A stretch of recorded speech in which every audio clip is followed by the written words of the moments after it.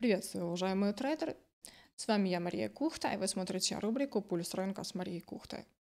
А, В сегодняшнем обзоре будет несколько свежих торговых идей для вас. А, Мы посмотрим криптовалютный рынок Ripple и посмотрим валютный рынок а, евро-доллар, новозеландский доллар против американского доллара и да, фунт-доллар.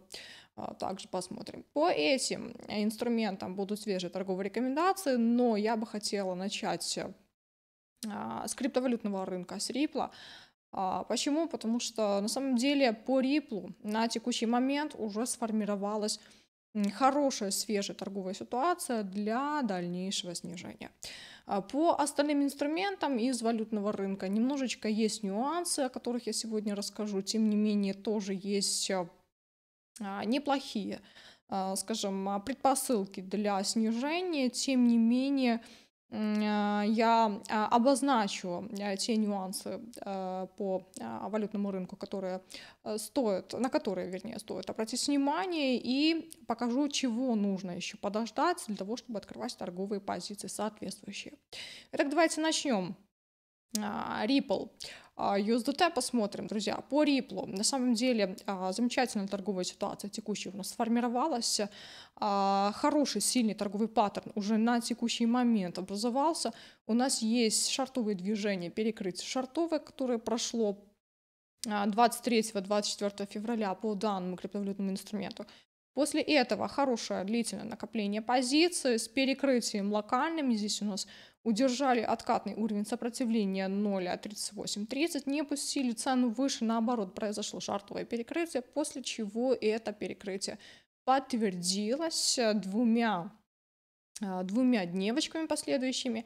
То есть вчера, позавчера хорошо закрылись дневки, и сегодня уже локально сжатие цены вниз а по Ripple мы с вами видим. Поэтому открываем шарты, стоп-лосс выставляем за максимум коррекции а, примерно 0,3850. Э, Это правильный стоп в данном случае, это стоп отмена сценария.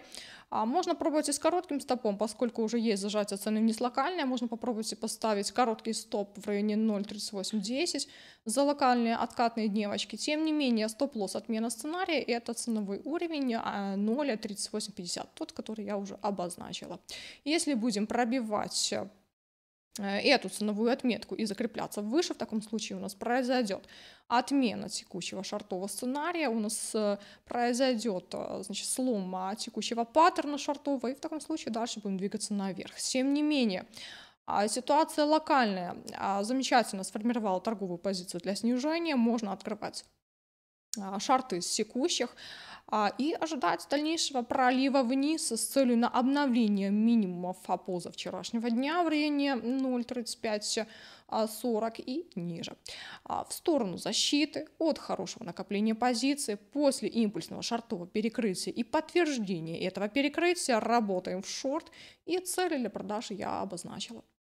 А, также я напомню, что а, я со своими подписчиками еще ранее открывала шарты по Ripple, также давала публичные торговые рекомендации на продажу по данному криптовалютному инструменту. А кому интересно, посмотрите на моем YouTube-канале Мария Кухта Трейдер, есть э, видео в свободном доступе Шартин Крипту торговые идеи 24 февраля, друзья, поэтому посмотрите, если вы еще не посмотрели, можете сами убедиться в том, что а, не постфактум рекомендовала открывать шорт по Ripple примерно на ценовой зоне 0.3880. А, Здесь мы торговались э, от хорошего локального паттерна. Замечательно у нас себя отработка а, значит, э, паттерна произошла. То есть добой вниз еще один мы с вами увидели позавчера 3 марта по данному криптовалютному инструменту. Тем не менее, текущая картина позволяет дополнительно а, работать в шорт дополнительно э, до открытия э, продажи по Риплу и ожидать хорошего дальнейшего импульсного пролива вниз по данному криптовалютному инструменту. И это первая торговая идея для вас. Как я уже сказала, здесь у нас есть все предпосылки, все хорошие защитные предпосылки для снижения. А теперь давайте перейдем к валютному рынку евро-доллар. Э, начнем с евро-доллара. А, друзья, на самом деле хочу сказать несколько слов о валютном рынке. А, на самом деле ситуация здесь у нас немножечко не настолько уверенная, как по крипторынку, как по Риплу. Почему? А, потому что на самом деле немножечко смущают вот эти лонговые импульсные движения, которые у нас прошли 1 марта по валютному рынку. Смотрите, есть лонговые импульсы наверх. Для того, чтобы работать дальше в шорт по евро, нам нужно перекрытие шортовое с подтверждением. Перекрытие, которое будет, скажем, э, отменять актуальность этого лонгового движения Э, перекрытие, которое будет показывать, что импульс наверх у нас был выносным, а не истинным, а перекрытие, которое, а, само собой, в принципе, а, показывает дальнейшее направление по инструменту в сторону защиты, если оно будет иметь подтверждение. Э, в данном случае, что мы видим по евро-доллару? Ну, на самом деле, Основная идея, которую я рассматриваю по евро, это продажа. Сейчас э, объясню почему, но есть один нюанс, который нужно еще подождать локальный, и тоже сейчас скажу, какой нюанс здесь нужно а, подождать. Итак, по евро у нас есть довольно уверенное ценовое давление на дневном таймфрейме, а, которое произошло а, фактически с начала февраля и продолжилось до конца февраля. А март у нас показал небольшую локальную коррекцию, тем не менее, исходя из текущей картинки, графической текущей картинки, локальной, а, рискну предположить, что вот этот рост, который мы с вами видели а, в конце февраля и в начале текущего месяца марта, это была всего лишь навсего коррекция в рамках шартового такого давления за месяц февраль. А почему? Потому что на самом деле уже есть текущие неплохие предпосылки для того, чтобы это определить. Смотрите, после этого роста, а, основной здесь у нас получается импульс от 1 марта, рост наверх импульсный. После этого шартовое локальное такое снижение 2 марта и откатная дневочка после этого шартового движения. В таком случае текущая комбинация позиций позволяет определить евро как наличие продаж дальнейших после шартового перекрытия, которое прошло 2 марта, и после откатной коррекционной дневочки в рамках этого перекрытия от 3 марта в сторону защитных импульсов, защитного давления, которое происходило в начале, э, вернее, э, в месяце, э, феврале в прошлом месяце. Но есть один нюанс. Еще если перейти на локальный таймфрейм, на часовой таймфрейм, мы видим, что еще присутствует небольшое такое поджатие цены наверх. То есть для того, чтобы открыть продажу по евро-доллару, нам нужно подождать свежего а, перекрытия вниз, э, хотя бы на часовом таймфрейме. То есть если будет локальный импульс вниз по евро, хотя бы на H1, в таком случае можно открывать шарты. Поэтому, друзья, вот такая рекомендация по евро. В принципе, евро, а, как я уже сказала, а, скорректировалась до зеркального сопротивления. Здесь есть еще у нас усиление откатного уровня зеркалом, то есть 1.0670, основная зона сопротивления, выше которой не пустили медведи цену, то есть здесь мы остановили свой рост коррекционный, Показали локальную реакцию вниз на эту ценовую зону и показали набор позиций в рамках э, перекрывающего шартового импульса от 2 марта. Поэтому неплохие текущие предпосылки для продаж. Тем не менее, нюанс, который я отметила, очень важен на самом деле, потому что сейчас еще в моменте мы находимся в небольшом локальном поджатии, а вот этот нюанс с локальным перекрытием, он просто подтвердит подтвердит дальнейшее шартовое направление по евро, подтвердит актуальность перекрытия от 2 марта и подтвердит соответствующее а, дальнейшее снижение по данной валютной паре. Поэтому а, вы можете взять себе на заметку евро-доллар для торговли. Для торговли на продажу с понедельника можно пробовать открывать, либо в понедельник а, покажем вот это шартовое перекрытие на часовом таймфрейме, либо, возможно, еще понедельник у нас будет а, до набирать торговую позицию, и уже вторник, среда покажем хороший дальнейший импульс вниз в сторону краткосрочной тенденции по евро, которая у нас сформировалась в месяце феврале. А новозеландский доллар, давайте посмотрим. А, ну, на самом деле, по новозеландцу здесь чуть получше ситуация. Почему? А, потому что а, уже, уже есть а, сформированный хороший шартовый паттерн, друзья. Есть защита шартовая слева, которая у нас прошла во вторник. 14 февраля началась и закончилась 24 февраля, то есть 10 дней торговых здесь мы снижались по новозеландскому доллару, а, тем не менее после этого попытка уйти на коррекцию, попытка показать а, импульсный рост, но, скорее всего, что нет. А, мы перекрыли этот импульс. Мы перекрыли этот импульс шартовым движением от 2 марта, после чего откатная коррекционная дневочка. Сопротивление 0,6240 удержали, то есть максимум пятницы, и ценовая зона сопротивления 0,6260. И это максимум э, консолидационный, который мы с вами увидели Э, роста, роста по данной валютной паре. Поэтому предлагаю открывать шарты по новозеландцу. В данном случае стоп-лосс выставляем за максимум дневочки 1 марта, за максимум вот этого импульса, а, либо с текущих, либо еще будем уходить на небольшую коррекцию. Тем не менее, можно работать в шорт. И цели для продаж э, обновление минимумов а, месяца февраля и ниже.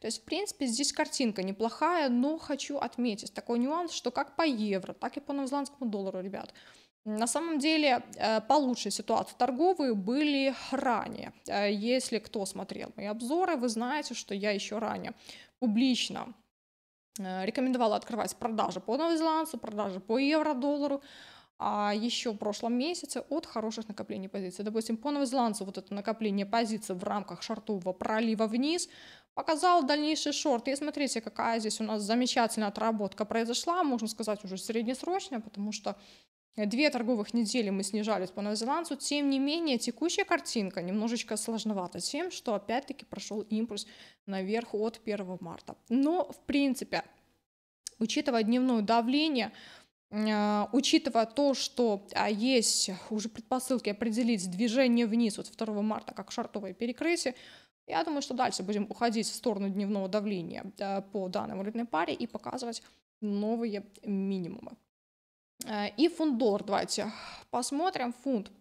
Ребят, ну на самом деле по фунту э, ситуация на текущий момент пока, пока локально не торговая тем, что нет точки входа в шорт. Но если мы проанализируем а, дневной таймфрейм, если мы проанализируем графики за а, последний торговый месяц по фунт-доллару, мы увидим очень интересную ситуацию. Интересная ситуация тем, что, смотрите, начался у нас пролив вниз 2 а, февраля, 2 3 февраля, начало прошлого месяца, импульсное движение вниз по фунту.